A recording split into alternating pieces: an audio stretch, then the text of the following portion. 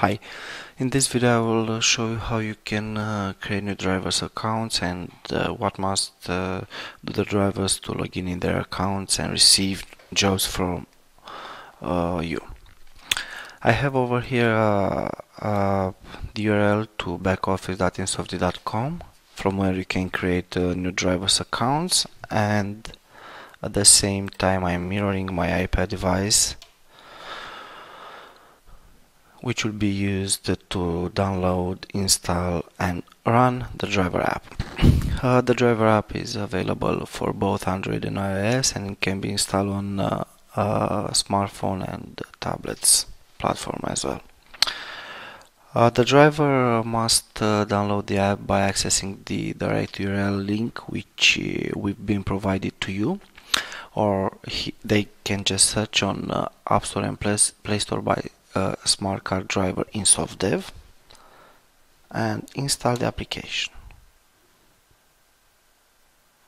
Okay, this will be the application which I'll use it further once my account will be created from the back office. On when uh, Smart2Car been deployed, uh, you've been provided with a unique company identifier. This is very important because it will be further used to access the back office and the driver will use it to access their apps and accounts. Okay, let's log in and to create new drivers accounts you must go straight forward to drivers main menu. Press on your driver button you'll be prompted with a new window where you'll have to fill the mandatory fields in red. Okay. John Doe ISD 002 email very important because it will be used by the drivers to uh, log in in the apps. Mobile number DBS expired. Very important because if will be a past date the driver will not be able to receive a job so will be restricted. Same for the driver car insurance. National insurance number national insurance number. Uh, make the status active. You can use this uh, field to deactivate uh, drivers and so they will not be able to receive jobs and will not be able further to log in in the apps. Contract let's make it full-time. Driver license number PCO license number expired date. Again it's a restrictive uh, uh, field. If will be a past date that will mean the driver is restricted and will not be able to receive jobs the password driver driver save. The last step will be to assign a car to this driver. If you had already defined a, car from fleet management then you must press assign a car. If no you can create a new car straightforward model BMW 5 ISD 001 color black. Uh, it's too risky. Tax road expire.